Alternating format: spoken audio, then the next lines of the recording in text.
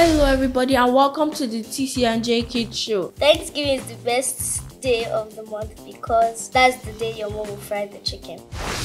For my worst clothes, it will be trouser and top. We are wearing trousers right now. And I hate it.